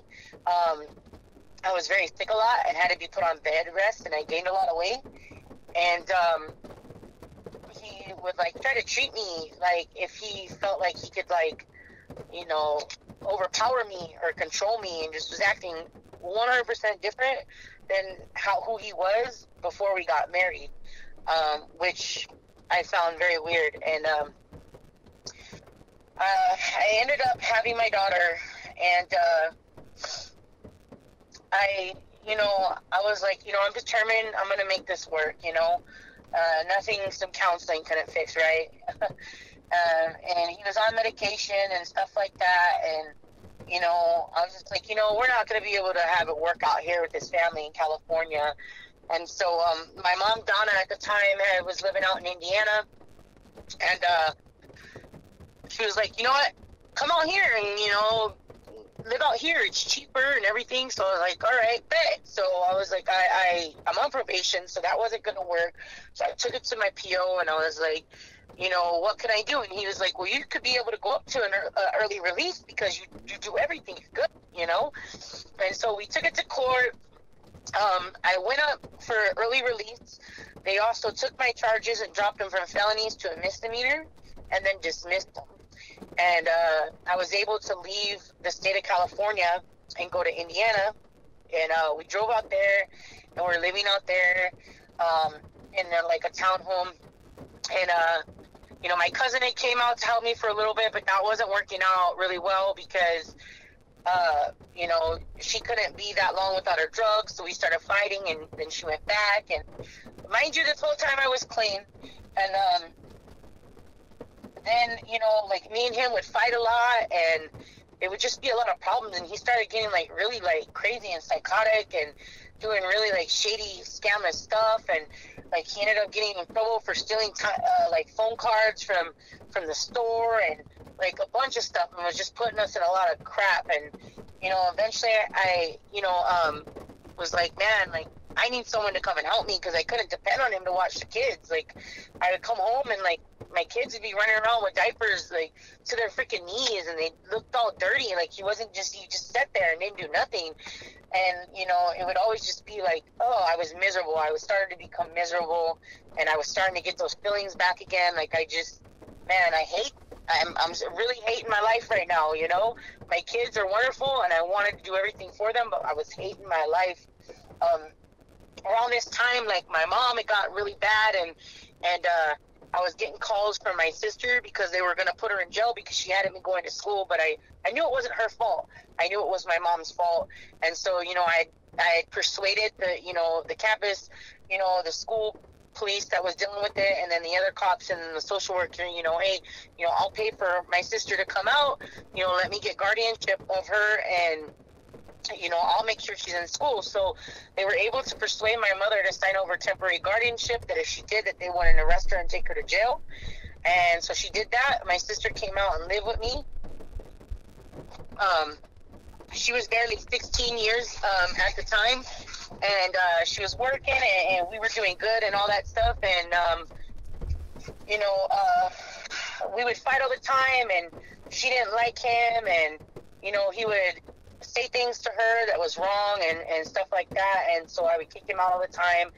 And uh, he just wasn't good. I felt like he was a little bit too rough with my kids all the time and you know uh, we just we just weren't getting along at all and I wasn't happy in that marriage. Um, during this time, um, I had also ended up contacting and getting uh, in contact with, you know, my boyfriend when I was 14, that my first love. He was in a relationship, and so like we had a brief, um, we had a brief, you know, like conversation, but it wasn't nothing like of that nature and stuff. I was married, he was with somebody, but it was just like a hi, hey, you know, whatever. But I'm not gonna say that the thought didn't go through my head, like, dang, man, like, you know, like he was good to me. You know, he wasn't the best person, but he was good to me. You know, and um, uh, he found out that I was talking to him, and he busted up my computer and shattered my computer. And uh, you know, it was just like always, just hell. And I didn't want to be with him anymore, and I just didn't know how I was going to get out of it. Having three babies, I mean, they were all a year apart, you know. And you know, my youngest, she was not even a year old. My son was a year, and and my my my daughter was two, and I just didn't know what I was going to do. I didn't really have anybody to help me, and I didn't know how I was going to get out of the situation I was in. And then um, one day, um, out of nowhere, it was uh, July eighth, uh, two thousand and eight. Um, got a phone call, and uh, it was in it was morning my time, and uh, they told me that my little brother had died, and um, it, it was a very uh, shocking thing for me and my sister. Um, that was my younger brother right underneath me, but that was her, uh, his and her dad and her, her mom. They had the same dad and mom, um, and uh, so she fell out, blacked out, and uh, I made the decision that day. that I was selling everything in my apartment, and I was heading back on the Greyhound with my kids to California. I didn't know what I was going to do, what I was going to do when I was get there, but I was going to make it work because my mom was nowhere to be found, and all my brothers and sisters needed me, and I thought that I was in the position to save them. Uh, um, we ended up coming back here and uh, burying burying my brother, um, and it was hard. It was very hard because I had to keep it together. I don't really think that I had the chance to grieve because I had to be there for my sister and uh, for my my little brother and my little sister because my older brother was he's already been in prison for several years at this point. Um, he ended up getting uh, like 15 or 16 years, um, so he had already been in, and uh, so I had to be there for them, and it was uh, was not an easy time at all. Um, my cousin ended up helping me get into like a little trailer with my family in 29 Palm, and um, we went there, and then uh, me and him were still having issues, and my sister ended up going with their dad because she felt bad for him, and um, you know, it was all good. You know what I mean? Like I understood. I mean, I didn't like her father, but you know, I, I wasn't gonna stop her from doing what she wanted to do.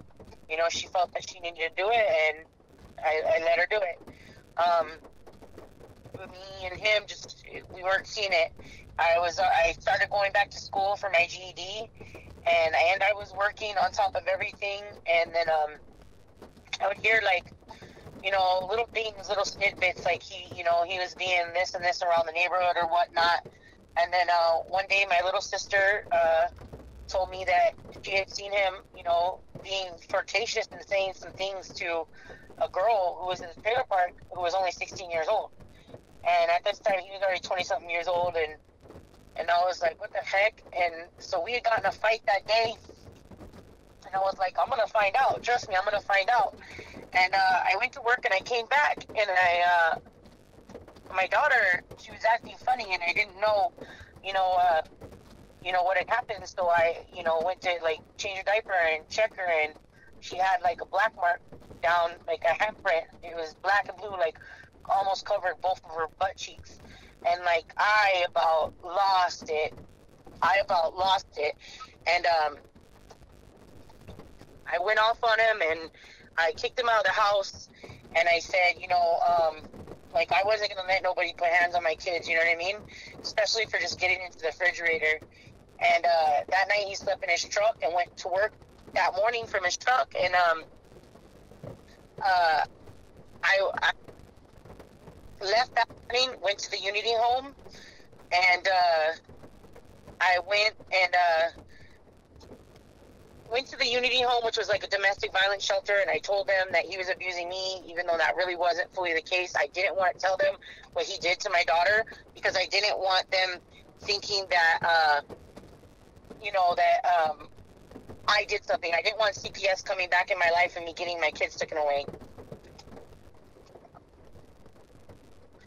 and um, they helped me um, file the, the report, and uh, they posted it on that house the same day. Had me came and took me and all my kids out of there, and uh, took us, you know, over somewhere else, and uh, served him. And I never seen him again. I never seen him again, and uh, that that was that. You know, I was like, I'm not going back to him, and you know, I ended up going over to this girl's house that was like his cousin, um, and uh, she was letting me stay there, and I didn't know at the time that they were getting high, and I was dealing with all this stuff with my cervical cancer and, and things like that, and trying to get that taken care of. Like I just got a biopsy, and and all that, and um, they uh, they were getting loaded, man, and and I don't know why, just like everything with my brother kind of creeped up on me, and and I had a moment and I relapsed and I um, it was not a moment that I'm proud of because I knew that I didn't want to do it and I don't I still to this day I don't understand that's addiction for you like that's what I did and I did it and uh, um, it wasn't that long of a run.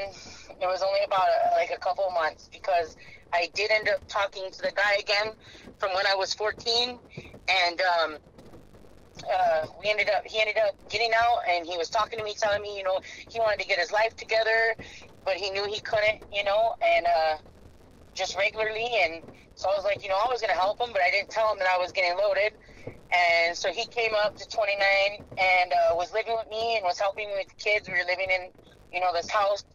And um, he was like you know let's get out of here. You know let's go. So we, we left Indiana um, over to his mom's. And uh, I stopped using. And uh, but I didn't get into the I didn't get into any meetings. I didn't go back to any meetings, and I and I wasn't getting in a church. I wasn't replacing anything. You know, I just stopped using, and I was going to work, and I was doing everything that I needed to do, and I stayed straight, and and, and life was pretty good. You know, like um, he cleaned up his life, and um, we actually uh, he became a really good dude, and some things didn't work out uh, because he violated because he was on parole and he shouldn't have left the state. And so uh, they ended up coming out there and transporting him back. And so a little shortly after, with me working and everything, I found my way back to here, and I was gonna try to figure out everything to make it work for him to get out. Not everything was going as planned, but I was gonna make it work. Um, we ended up living with his brother's ex girlfriend, and I was staying there. She was going to help me out, and uh, he got out, and then uh, we ended up moving to Yucaipa, and uh, we lived out there for a couple years, and I was clean. I mean, he relapsed, and um, you know, we had you know our little times, and he barely fell off. you know, and I and I, I'm not gonna say like a full relapse, just kind of like a lapse. Like he did it one time, got caught because I caught him and drug tested him and told him that he couldn't, and I made him told his pro officer, and uh, then he went back to being clean again. And he was like, "Look, if we're gonna be together, we can't be here, you know." Um, I can't be in California. It's not going to work. I'm going to end up getting loaded and, you know, all that good stuff. So I was like, all right, you know, you know, let's do this. So um, it was like um, March 5th, 2000, no, March 4th, 2012. We drove and his family followed us and we passed through Vegas. And uh, on our way there on March 5th, um, 2012, uh, we got married and then uh, March 6, 2012, we left to Michigan. Um, from 2012 to 2014, we were in Michigan, and everything was good. We had good jobs, and I was doing good, and I was starting to get into church, and I was starting, you know, to, you know, um, have a relationship with God. I felt um, there was something inside of me that just, you know, I knew that I needed to be something and I needed to do something with my life. Like I had a story to tell and I knew I can use that. And um, I uh, was going back to school and at that at this time in like 2013, I had had already got my associates and I was going back to um, school to get my bachelor's. And uh, I don't know why, but my brother and him put it in our head, like, you know what, let's, you know, let's move to Arizona. My dad was there, and I was like, sure, you know, cool, why not? And um, I felt like it was the wrong thing, and I went against my gut, and we went to Arizona, and then, um, not too long after that, where we were in Arizona, uh, he ended up relapsing, and uh, it this time it was a pretty hard time, and um, I, for all the wrong reasons, felt like I needed to find out what was going on. I thought I can save him, and and all this stuff that you know I know now wasn't true, and and um, I felt like I had this thing in my mind, and I know it was disease telling me, you know, if you just get high, you could infiltrate the people that he's around and keep them away from him. And I really thought that was the reason why I was gonna do it, and and I did. And I got high, and uh, uh I felt so bad, and none of it was a good time, and it, it was it was nothing. This time around, it was it was not the same. It was not at all the same, and I had done some really bad stuff to a lot of people, trying to keep them away from him. Um, to the point where I thought that someone might kill me or I was going to end up in prison because like I was literally like pulling guns on people and doing crazy off the wall stuff thinking that I was going to get them to stay away from him and I had my breaking point, and I was like, you know what? I can't do this. Like, I don't know what I'm doing. I can't do this. Like, this is not what I should be doing. Like, I know better than this. Like, what am I doing? You know? And uh, I I stopped and I said, you know what? I'm filing for divorce. And I, I, I went to wash my hands with him, and I told him I was done. And um, long story short, I did fi- I did file, and when he found out, um, he was going to try to kill himself, and he was riding around on a bike with a gun in his hand. And I was driving behind him on the phone with the police, telling him, you know, um, like he's going to hurt himself, he's going to kill himself. And I thought it, I thought Arizona would have been like California, where you know if you're married and you tell them something like that, they're going to 5150 them. That's not the case in Arizona because that's not what they did. Um, they ended up getting him and charging him for being a felon with a firearm, and they took him to jail that night. Um, Arizona's a little bit different, and because they didn't have a case built up on him, they did end up releasing him that night. And um, he came home and he begged me. He was like, "Please don't, don't leave me. Don't file for divorce. I'll get clean. I'll stop." And I was like, "You know what? I'll give you a chance, but." You know, the only way that we're gonna do this if you figure out how we can get back to Michigan. That's it you got to figure out how you're going to have your job back, how we're going to have a place, and that's the only way, way I'll stop the divorce. And he did. And so we ended up 2015 going back to Michigan. And uh, we were out there, and I uh, dived headfirst um, in, in, into church.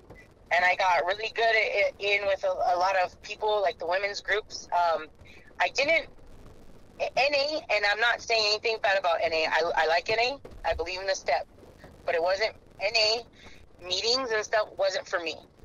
Um, sometimes a lot of the people in those types of settings or groups are still not doing what they're supposed to be doing, and a lot of them like to be there and they like to like one up a lot. The meetings that I've been to, this is not for everyone, and I'm not saying for all of them, but I didn't have a good experience with that with that type of setting, so it wasn't working for me. So I didn't continue to go to meetings, but I got in with um, some of you know uh, like the the church groups, and they had their own kind of recovery group within the church. It was Metro City in uh, in Michigan, you and and um, a lot of people probably heard of it. It's a big known church out there in Michigan, and um, uh, I was doing really good. And um, in about uh, 20 towards the end of 2016, um, they uh, him and um, requested that he come back to Arizona. Uh, he was fighting his case for a couple months, and he ended up getting time out of it. And so while I was left in Michigan with the kids and the house and everything, um, he had to go back and do time. Um, during this time while he was gone, I took this time to really invest myself in in working on myself, and I got in with in really good. And I was studying the Bible and reading Scripture, and and getting in with church. Um, and I met a wonderful group of ladies in my women's group, and they knew about my life. They knew about um, the type of person that I was, and they didn't judge me.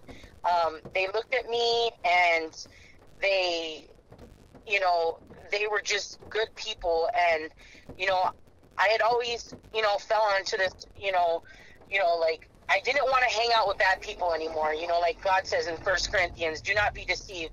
Bad company ruins good morals. And so I had had it in my head like i'm not gonna ever hang around with bad people i'm gonna always make conscious you know conscious choices of the type of people that i have in my life. And so that's what I kept doing. Um, so I submitted myself, you know, um, I submitted myself to God and I surrounded myself with people that were knee deep in church and they, they were really good, um, God fearing, awesome people. And, um, oh man, I got in so good with God. I submitted myself, you know, and I felt like, I felt like this change in me there was this shift in me, and it's and it's hard to explain. And um, it goes back to the scripture in James four seven: "Submit yourselves therefore to God, resist the devil, and he will flee from you." And I felt like like it was taken from me, like the the power of addiction had been removed from me. I felt. I never felt that way ever in my life, and I knew that God was working inside of me that there uh, he put on my heart that there was something for me to be in this world. Everything that i went through and everything that i experienced it all had a meaning. And it was all meant for something. It wasn't meant for nothing. It was not and i know that deep in my heart that god has a purpose for me. And it was to take everything that i've been through in my life and it was to utilize me out there in the world to help other people and at the time with when I was when, when I was with these like I knew it in me and I and I kind of felt it and they were kind of telling me like you know you have a testimony you have a story you need to do something with that. And I would and I wouldn't really tell them but I, I would I, you know one of the ladies I would tell her her name was Stephanie and she's such a wonderful woman and I and I thank that woman with all my life because she, she helped me get on the path that I'm in with with um, drug and alcohol counseling, and and I will forever be appreciative of her because she she planted that seed in my head that I could and I should and I should not let nothing stop me. And she pep prep, you know, she would pep me up and cheer me up, and she was like one of my greatest cheerleaders. You know what I mean? And um, I I had excuse though, you know, like I can't, I can't. I felt like because I didn't have my oldest daughter and I didn't know where she was, and I I didn't feel like I was 100% good and right.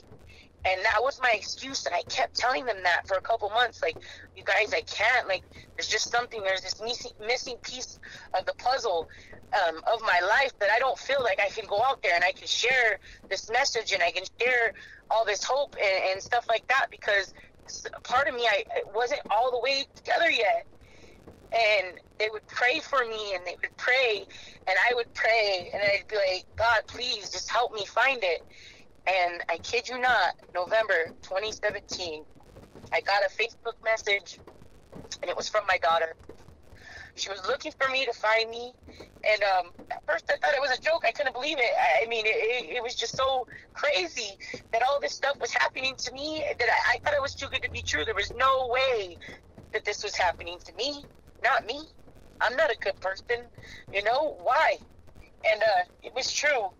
And um, January, I took a trip out to California to see her for the first time and I spent like a, a week with her, and I see my brother too. And the first time after um, 16, almost 17 years, because uh, he was in prison and he had just got out, and so I just felt all that when I came came here, and um, I went back to Michigan, and I literally stepped in the door, and my kids looked at me, and they're like, "We're leaving, aren't we? We're moving." And I was like, "Yeah." I, I had made the mind made up in my mind that I was leaving Michigan because I didn't have nobody out there, and I was coming back over here and bringing my family over here um, to make a life for them and to be able to be around uh, their sister. And I, I and I didn't have a plan. Once again, I didn't have a plan. We sold we sold our house, and I was like, God, you know, guide me, God, if if, if this is what you want me to do, and this is what I'm supposed to do, make everything easy and, get me there. And He did. He did. I prayed and I prayed and I prayed endlessly for things to work out. And we ended up back here in California, and I was able to have my daughter, you know, um, back in my in my life, and and she forgave me, and it, it was just it was good. You know, my my kids were all together, and I had my family, and um, at this time I came back and I graduated, and I was able to walk. Um, in uh, 2018 for my bachelor's degree in uh, healthcare administration. And um, I was able to have my daughter and all my kids and my brother.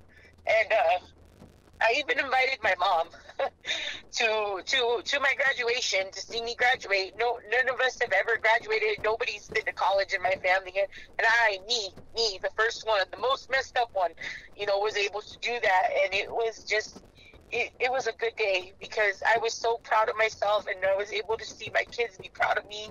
And I've never felt that way before in my life. And I knew, and I was still talking to the ladies back in Michigan, and they were like, What's your excuse now? What's your excuse? That was your one excuse, and now you have that. God gave that to you. You asked Him for it, He gave it to you. So, what's your excuse? I don't have one. I didn't have one. So I made the choice.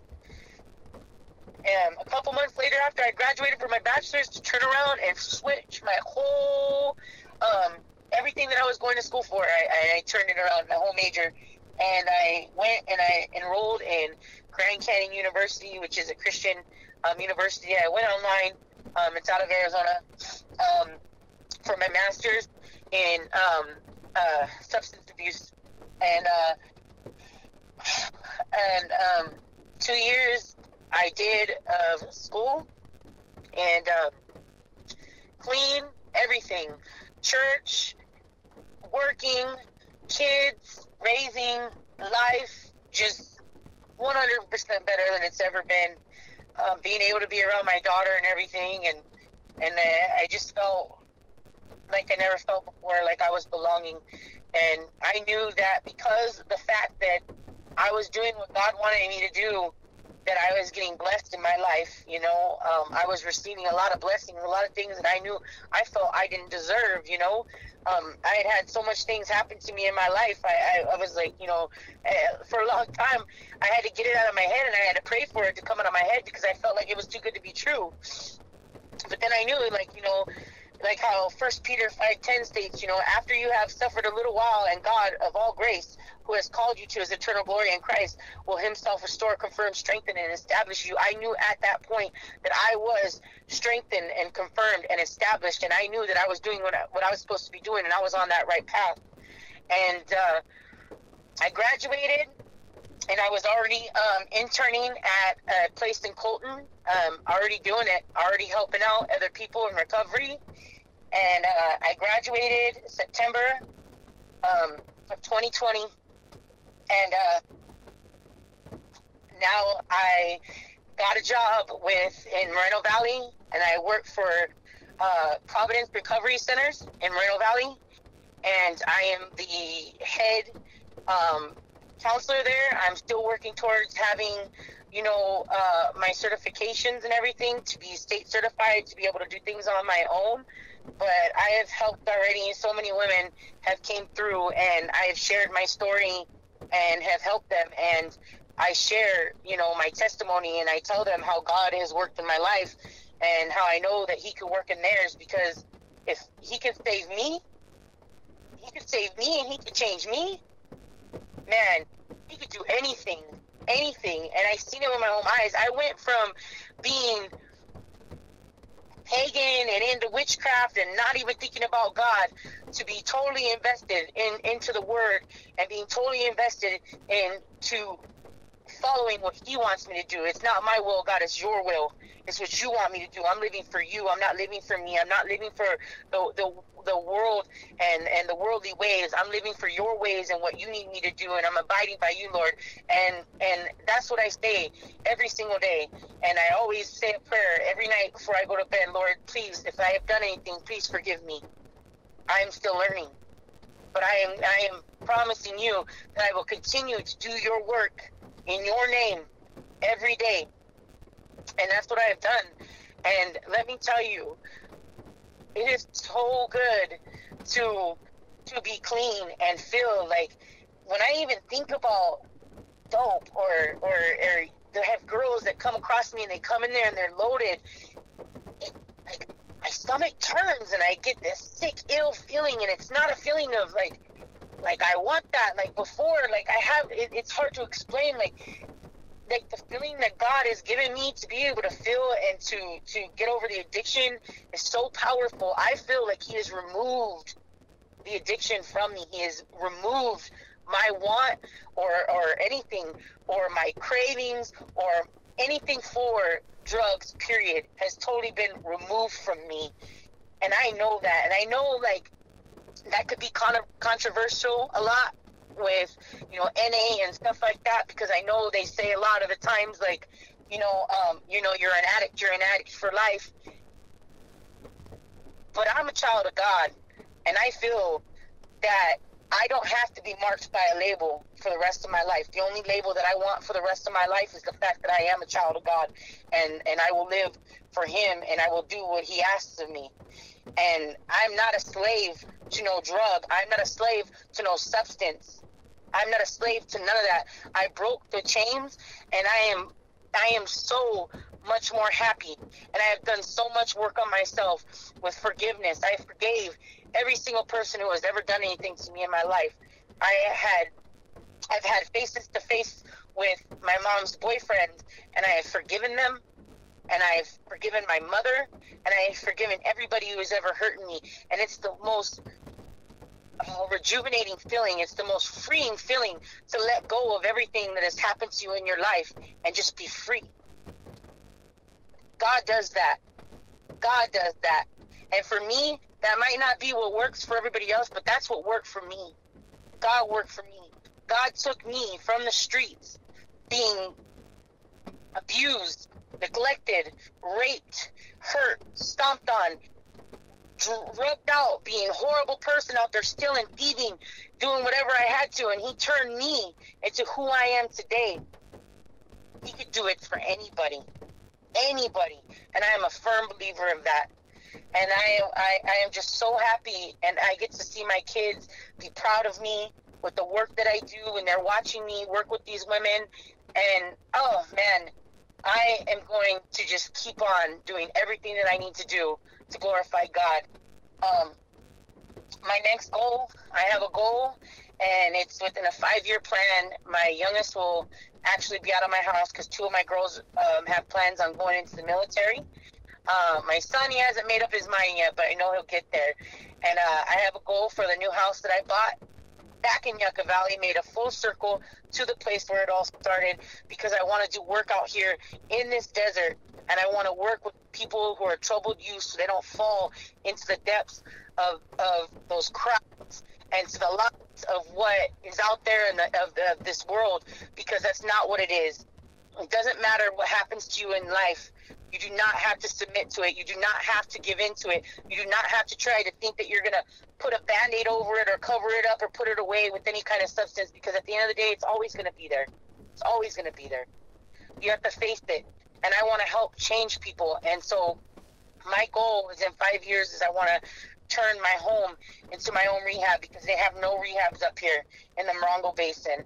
And I want to make an all women's rehab out here so I can help women out here in this desert who are struggling like me and who are in my shoes to help them see different, to help them feel different, to help them turn their lives around and hopefully free them from the chains of addictions themselves. And that is my goal. And I know with God by my side that I will achieve anything. I am Nicole Shaver, and I am drug free, and I know recovery works. Thank you.